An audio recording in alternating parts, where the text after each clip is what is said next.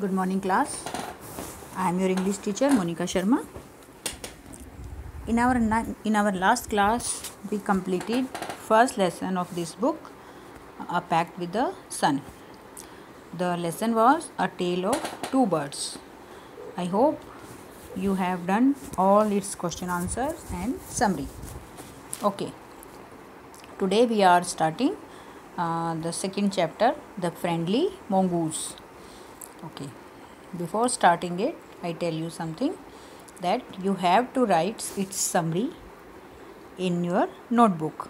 Summary means देखिए जो जहाँ पे लेसन स्टार्ट है उसके ऊपर ये जो डॉट्स हैं डॉट्स में कुछ लिखा हुआ है तीन जो लाइन्स हैं वो और ऐसे ही अंदर चैप्टर में भी जहाँ पर ये लिखा हुआ है डॉट्स के साथ वो है इसकी समरी तो वो समरी आपको अपनी नोटबुक में लेसन शुरू करने से पहले लिखनी है ऊपर लेसन का नाम लिख के फिर समरी लिखनी है और उसके बाद आपको क्वेश्चन आंसर्स और सारी चीज़ें, जैसे डिफ़िकल्ट स्पेलिंग्स हैं वो सब लिखनी है। Let's start the lesson once a farmer and his wife lived in a village with their small son एक बार एक किसान और उसकी वाइफ उसकी पत्नी एक गाँव में रहते थे। और उनका एक छोटा बच्चा था। अपने छोटे बच्चे के साथ, छोटे बेटे के साथ गाँव में रहते थे। They loved him very much वो उससे बहुत प्यार करते थे। We must have a pet the farmer said to his wife one day एक दिन किसान ने अपनी पत्नी को कहा we must have a pet pet क्या होता है? पालतू जैसा कोई जानवर जिसको हम पालतू बनाते हैं, अपने घर में उसको पाल कर रखते हैं। तो उसने कहा कि हमें एक पेट रखना चाहिए, एक कोई पालतू जानवर, किस जानवर को हमें पालना चाहिए। When our son grows up he will need a he will need a companion जब हमारा पुत्र बड़ा होगा, तब उसको कोई एक साथी। कंपेनियन मीन्स साथी। कोई साथी चाहिए। तो this pet will be our son's companion तो जो ये पेट है, हम इसको पालेंगे। जो भी हम पाल जानवर को पालेंगे तो ये हमारे पुत्र का साथी बनेगा। His wife like the idea अब उसकी वाइफ को वो आइडिया बड़ा अच्छा लगा। मतलब इसका मतलब ये है कि किसान ने एक दिन अपनी पत्नी को कहा कि अभी हमारा पुत्र छोटा है, जब ये बड़ा होगा तो इसको कोई साथी चाहिए खेलने के लिए, अपना समय व्यतीत करने के लिए। तो हम अच्छा है हम एक जा किसी जानवर को पालतू बना लें और वो इसके साथ खेलेगा। Next paragraph one evening the farmer brought with him a tiny mongoose brought brought क्या है? ब्रॉट है बाय बाय की सेकेंड फॉर्म बाय मतलब खरीदना खरीदना खरीदना की second form bought brought bring ये है सॉरी ब्रिंग है ब्रिंग की सेकेंड फॉर्म है ब्रॉट ब्रिंग मतलब लाना और ब्रॉट है मतलब लाया. तो एक आ, एक शाम को आ, किसान अपने साथ एक मोंगूज मोंगूज क्या होता है? नेवला. आपने देखा होगा नेवला या नेवले की पिक्चर देखी होगी? कोई भी चित्र देखा होगा नेवला. एक वो नेवला लेके आया. It is a baby mongoose यह एक बेबी मोंगूज है नेवले का बच्चा है। सेड इज़ वाइफ उसकी पत्नी ने कहा but will be soon but will soon be fully grown अभी तो छोटा है, लेकिन थोड़े दिन में बड़ा हो जाएगा। He will be a friend to our son यह हमारे पुत्र का बहुत अच्छा मित्र बनेगा। आपको क्या करना है? आपको इस लेसन के सारे डिफ़िकल्ट वर्ड्स जो आपको लगते हैं, जैसे आप डिक्टेशन बोलते हो, वो अपनी कॉपी में आपको लिखने हैं और वो लर्न करने next next page both the baby and the mongoose grew अब सम टाइम समय समय समय के साथ वो जो बेबी था, वो बच्चा और वो मोंगूस दोनों बड़े हुए। इन फाइव और six months the mongoose had grown to its full size पाँच और छः महीने में ही वो जो मोंगूस था, नेवला, अपना फुल साइज़ का वो बन गया। मतलब उसका फुल अपनी ग्रोथ में वो आ गया। A lovely animal with two shining black eyes and a bushy tail a lovely animal एक प्यारा जानवर जिसकी क्या थी? दो शाइनिंग आइज़ दो चमकती हुई black eyes and a bushy tail और एक पूँछ कैसी थी उसकी? बुशी मतलब जिसमें हम बोलते हैं बहुत घनी झाड़ी घनी घनी बालों वाली उसकी पूँछ थी। The farmer son was still a baby in the cradle और क्या हुआ? आ, जो किसान का पुत्र था वो लेकिन अभी एक बच्चा ही था मतलब जो एनिमल था, वो तो जल्दी से बढ़ा गया, बढ़ गया। लेकिन जो बेबी था, वो जो बच्चा था, वो अभी भी पालने में ही एक बेबी था। उस, उसकी क्योंकि हमारी ग्रोथ थोड़ी, इतनी ज़्यादा जल्दी नहीं होती एनिमल्स के बजाय।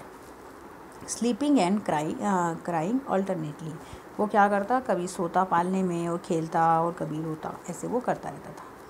One day the farmer's wife wanted to go to the market एक दिन क्या हुआ, जो किसान की पत्नी थी, वो मार्केट जाना चाहती थी, बाज़ार जाना चाहती थी। She fed the baby and rocked him to sleep in his little cradle उसने बेबी को दूध पिलाया और उसे पालने में सुला दिया। Picking up the basket and said to her husband उसने अपनी टोकरी उठाई और अपने पति को कहा I am off to the bazaar मैं बाज़ार जा रही हूँ.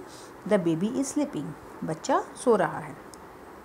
Keep an eye on him frankly I don't like to leave the child alone with the alone with the mongoose आप उस पर नज़र रखना और मैं आपको साफ़ साफ़ बता देती हूँ कि मैं आ, बच्चे को मोंगूस नेवले के साथ छोड़ना बिल्कुल पसंद नहीं करती। मतलब ऐसा नहीं है कि आप उसे छोड़ के कहीं चले जाओ और वो उसकी देखभाल करेगा। आप उसके साथ ही रहना। You need not to be afraid said the farmer किसान ने कहा तुम्हें डरने की कोई ज़रूरत नहीं है। The mongoose is a friendly animal mongoose जो नेवला है वो एक फ्रेंडली एनिमल है। वो आ, मित्र मतलब आ, मित्रता वाला आ, जानवर है। It is and it is as sweet as our baby and they are the best of friends you know वह जो हमारा पुत्र हमारे बेबी जितना ही प्यारा है और वो दोनों बेस्ट फ्रेंड हैं तुम्हें पता है वो दोनों। अच्छे मित्र हैं वो दोनों खेलते हैं। द वाइफ वेंट अवे उनकी पत्नी चली गई।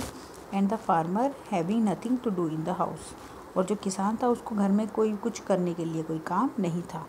Decide to go out and take a look at his fields not for not far away अब उसने क्या किया कि उसने निश्चय किया कि वो थोड़ी देर अपने खेतों पर चला जाता है। खेतों को जाके देख लेता है कि वो जो घर से ज़्यादा दूर नहीं थे। He ran into some friends on the way back and didn't return for quite some time वह अपने कुछ मित्रों के पास चला गया और आ, थोड़े टाइम के लिए वापस नहीं आया। तो यहाँ तक था ये जो उसकी ऊपर समृद्धि हुई है वो यहाँ तक के समृद्धि थी। अब जो ये नीचे समृद्धि है ये आगे वाले पैराग्राफ की समृद्धि है। आपको सारी लिखनी है। The farmer's wife finished her shopping and came back home with a basket full of groceries अब जो किसान की पत्नी थी, वो मार्केट से वापस आई, बाज़ार से वापस आई और अपने साथ बहुत सारा खाने का सामान लेकर आई। He saw the mongoose sitting outside as if waiting for her उसने उसने नेवले को देखा कि जैसे वो उसकी वेट कर रहा है। On seeing her he ran to welcome her अब वो उसको देखने के पहले वो उसको स्वागत करने के लिए भागा। एज ही वॉज़ कस्टमर वो हमेशा करता था।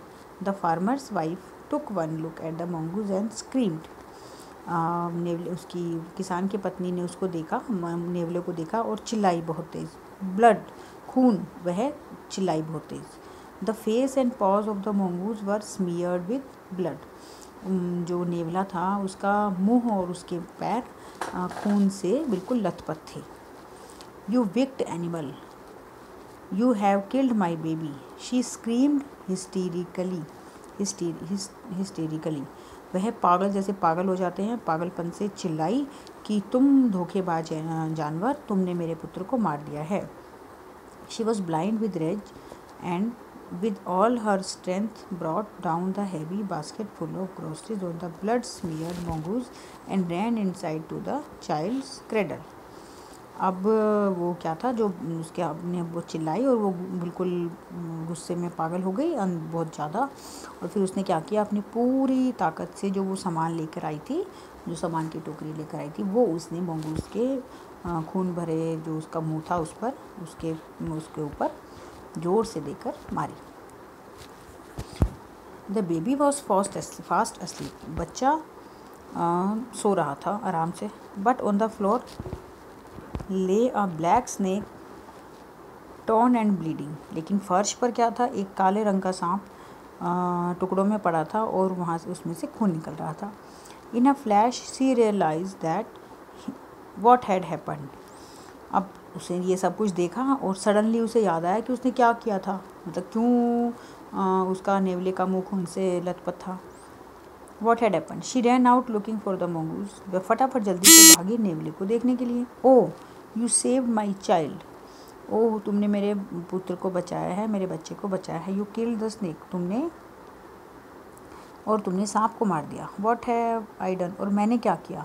She cry touching the mongoose who lay dead and still unaware of her sobbing अब उसने वो वह रो रही थी और उसने उसको छुआ नेमले को और जो कि वहाँ पर मरा हुआ पड़ा था, उसे नहीं पता था कि वो क्यों रो रही है।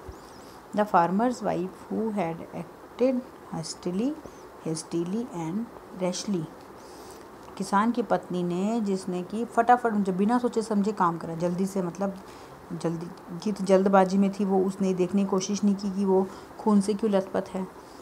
जल्दी से उसने करा।